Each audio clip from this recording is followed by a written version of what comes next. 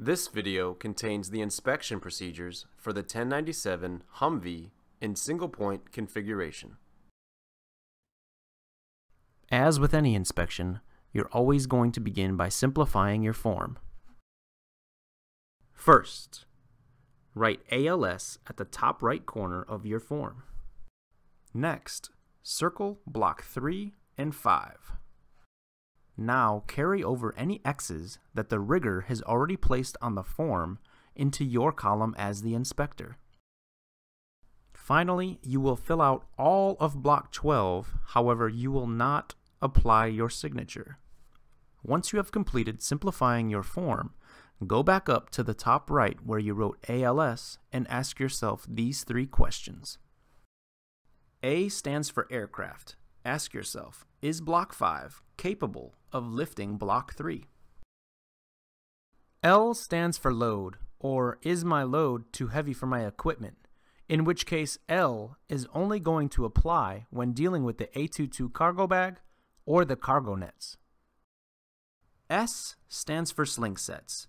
Ask yourself, is block 3 too heavy for the sling set or sling legs in front of you?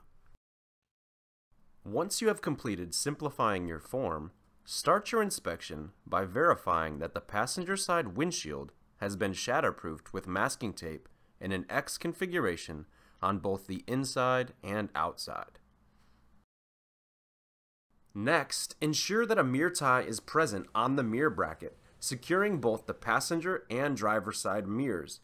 Verify that it is the proper material, which is type 3 nylon, and that the mirror tie itself is routed free and clear underneath sling legs 1 and 2.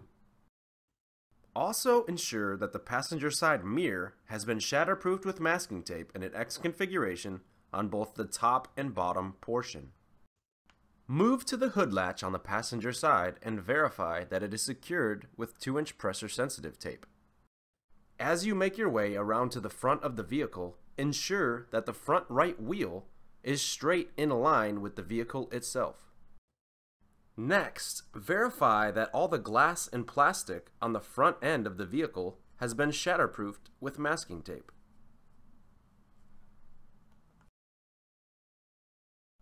Now we will inspect the front sling legs, starting with the front passenger side sling leg.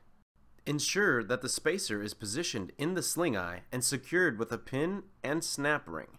This will verify that the grab hook is not inverted. Ensure that a dome or self-locking nut is present and that the keeper has proper spring tension. Check the routing of the chain and verify that it is routed one time and one time only through the lifting provision and secured in the grab hook. Next, verify a link count of 74 on the front end for the 1097 Humvee single point configuration. With 10 or more links of excess chain, notice the Type 3 nylon routed through the links in order for them to be tied and taped before sling load operations. Now, inspect the driver's side sling leg and ensure that it is properly attached in the same manner as we inspected the passenger side sling leg.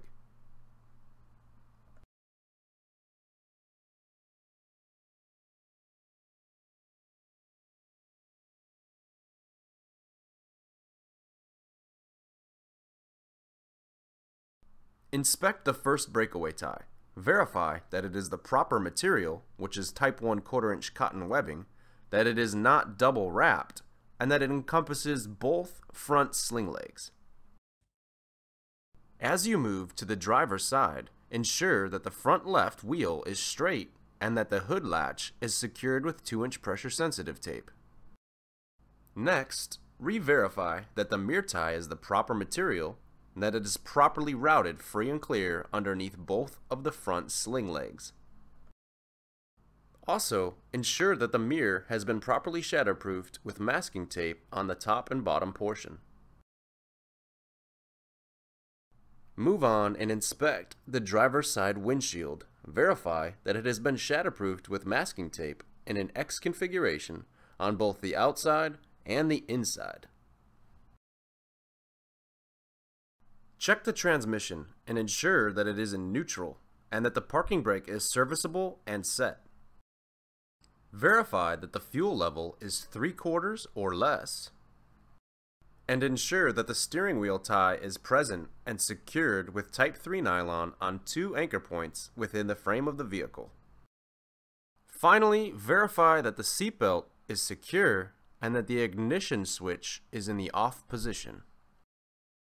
If your 1097 has rear passenger seats, verify that the seatbelts are secured and the latches are covered with 2-inch pressure sensitive tape.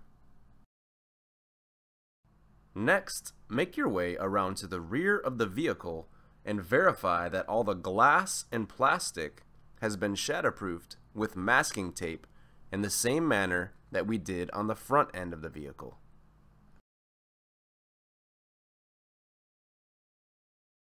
Now, move to the driver's side tailgate hook and ensure that the hooked end is facing out and secured with Type 3 nylon cord. We will now inspect the rear left grab hook in the same manner as we inspected the grab hooks on the front end of the vehicle. Spacer inside the eye, snap ring, dome or self-locking nut, spring tension on the keeper, and chain secured in grab link.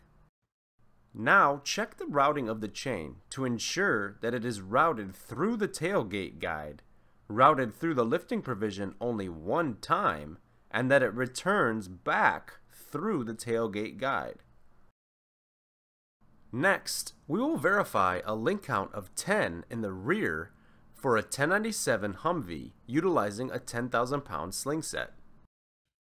Move to the passenger side tailgate hook and once again verify that the hooked end is facing out and that it is secured with Type 3 nylon cord.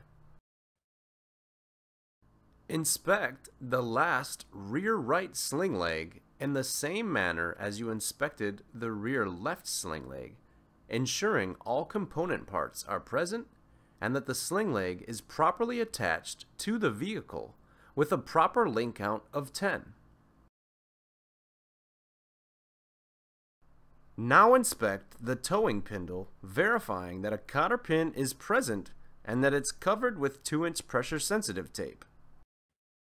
And finally, Inspect the second breakaway tie, checking for proper material, which is type 1 quarter inch cotton webbing, ensuring that it is not double wrapped, and that it encompasses both rear sling legs.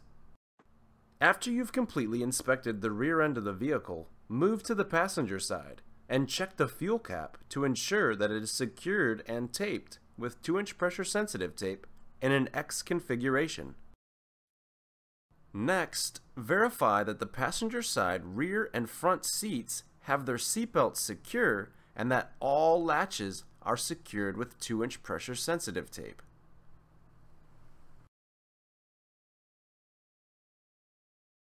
Enter the vehicle from the passenger side to inspect the 10,000 pound apex. Verify that the apex is set up for the appropriate aircraft. Ensure that a castellated nut is present and that the crowned portion is facing out, and that there is a cotter pin present. Incorporate an apex spacer if the aircraft requires it. After you have completed inspecting the apex, you will now verify that the sling legs are properly routed and in the correct sequence. To do so, hold the apex high in the air. Trace and verify that sling legs 1 and 2 are routed free and clear to the front of the vehicle and that they are not misrouted underneath the vehicle's roll bar. After you have verified that sling legs 1 and 2 are properly routed and in the correct sequence, inspect the third breakaway tie, checking for proper material, that it is not double wrapped, and that it encompasses both sling legs 1 and 2. Once again, hold the apex high and verify that sling legs 3 and 4 are properly routed and in the correct sequence. Trace and verify that sling legs 3 and 4 are routed free and clear to the rear of the vehicle and that they are not misrouted underneath the vehicle's roll bar.